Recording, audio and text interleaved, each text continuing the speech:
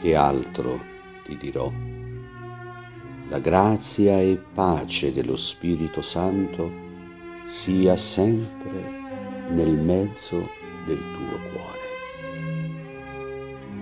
Metti questo cuore nel costato aperto del Salvatore ed uniscilo a questo Re dei nostri cuori, che in essi sta come il suo trono reale per ricevere l'omaggio e l'obbedienza di tutti gli altri cuori, tenendo così la porta aperta, acciò che ciascuno possa accostarsi per avere sempre e da qualunque ora dienza.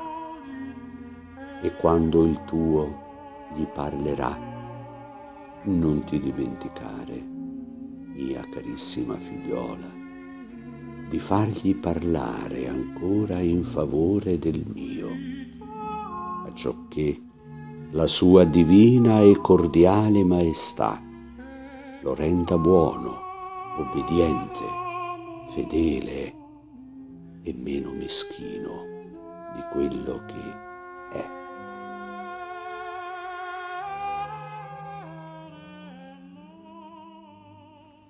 Carissimi, pace e bene a tutti voi e buona giornata sotto lo sguardo, sotto la protezione del nostro amato Padre Pio da Pietrelcina. E ancora una volta Padre Pio ci dona dei consigli molto preziosi per la nostra vita spirituale e per la nostra vita quotidiana. E c'è questo, questo particolare invito che oggi Padre Pio fa. Dice proprio così, dice metti questo cuore, il tuo cuore, il mio cuore evidentemente, metti questo cuore nel costato aperto del Salvatore ed uniscilo a questo Re dei nostri cuori, che in essi sta come in suo trono reale per ricevere l'omaggio e l'obbedienza di tutti gli altri cuori. Che bella questa frase, che profondità teologica, nella sua semplicità ha una profondità teologica. Sapete, questa è una, è una considerazione che nasce certamente dall'esperienza personale di Padre Pio, ma nasce dalla scuola francescana. Tutti i nostri santi cappuccini, i nostri santi francescani hanno sempre considerato ecco, questo cuore aperto di Gesù e hanno sempre immaginato no, di entrare nella ferita aperta e, e, e del cuore di Gesù, no? come la colomba eh, del cantico dei candici che si nasconde nelle fenditure della roccia. Così l'anima cristiana, come dicono i nostri santi francescani, francescani, così come ci dice il nostro caro Padre Pio, l'anima cristiana è come quella colomba che deve nascondersi nelle feri ferite della roccia per trovare riparo, per trovare realmente ecco, l'ombra no? quando ce n'è bisogno. E noi dobbiamo ecco, trovare riparo nel cuore di Gesù, dobbiamo entrare, come dice Padre Pio,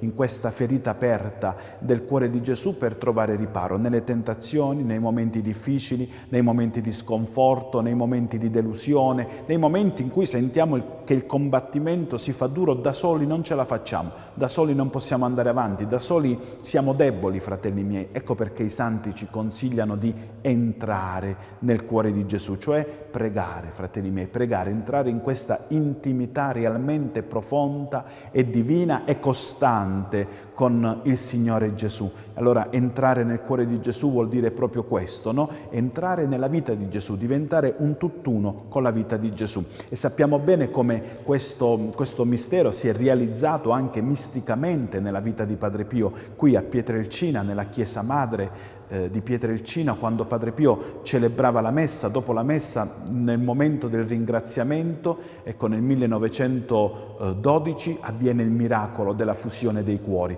Il cuore di Padre Pio ed il cuore di Gesù diventano un unico cuore. Padre Pio dice il mio cuore si perse nel cuore di Gesù come una goccia d'acqua si smarrisce nell'oceano. Allora fratelli miei auguro anche a tutti voi di fare questa esperienza profonda, l'esperienza di entrare e di rimanere per sempre nel cuore di Gesù e di vivere lì la nostra vita quotidiana. A tutti voi pace e bene e santa giornata.